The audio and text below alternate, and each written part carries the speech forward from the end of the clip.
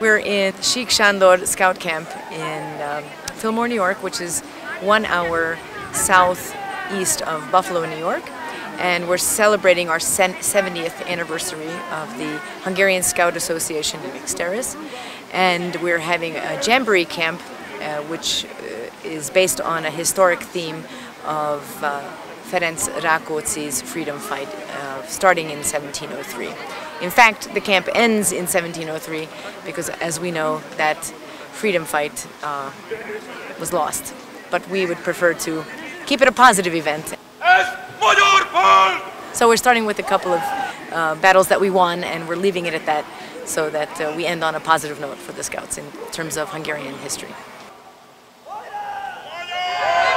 We all were born here in the States or I should say we are all Hungarians living outside of Hungary proper.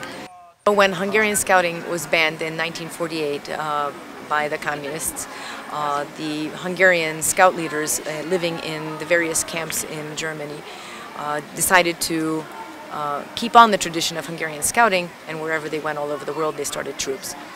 In 1989, or I should say 1990, when uh, communism fell in Hungary and the Hungarian Scouting movement uh, began again in Hungary, um, they formed their own association.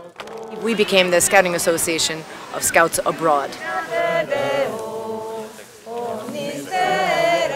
We decided to continue this tradition because we, had, we feel that uh, the Hungarians living abroad deserve a chance to stay Hungarian and, and to be a great American citizen by being a hyphenated American. So we're not just Americans, we're Hungarian Americans. We have uh, campers here from just about every continent, so from Asia, from South America, Australia, Europe, and of course uh, North and South America in order to handle the 700 campers to make sure the 21,000 meals get prepared, the 377 uh, meal deliveries. Uh, we have about, I'd say, 30 people doing actual logistics and about 25 people who are in the kitchen working. Uh, there's a family that's been doing this for over 30 years, strictly on a volunteer basis, multi-generational, and as people marry into the family, they automatically become part of the crew.